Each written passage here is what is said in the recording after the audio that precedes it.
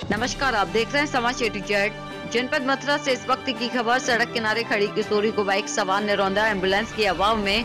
अस्पताल के बेड पर तड़पती रही किशोरी, सामुदायिक स्वास्थ्य केंद्र में प्राथमिक उपचार करती रही नर्स। राधाकोंड छठीगरा मार्ग पर बाइक सवार साधु भेषधारी ने किशोरी को रौन दिया। किशोरी को गंभीर अवस्था में पुलिस ने सामुदायिक स्वास्थ्य केंद्र में भर्ती कराया, जहाँ चिकित्सकों ने किशोरी की गंभीर हालत को देखते हुए मथुरा के लिए रेफर कर दिया। लेकिन एंबुलेंस के अभाव में किशोरी अस्पताल के बेड पर ज़िंदगी और मौत से जूझती रही।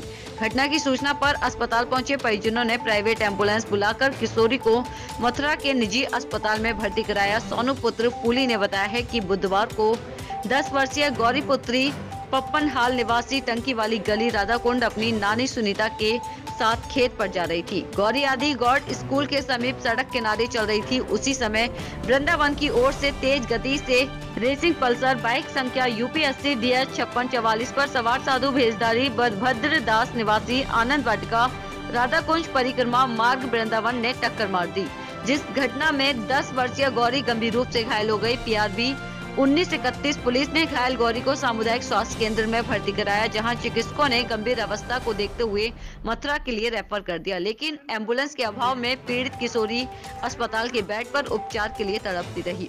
किशोरी के परिजन भी अस्पताल पहुँच गए। परिजनों ने प्राइवेट एंबुलेंस बुलाकर पीड़ित गौरी को मथुरा के अस्पताल में भर्ती कराया। समाचार ए टू जेड के लिए मथुरा से अमित गोस्वामी की रिपोर्ट।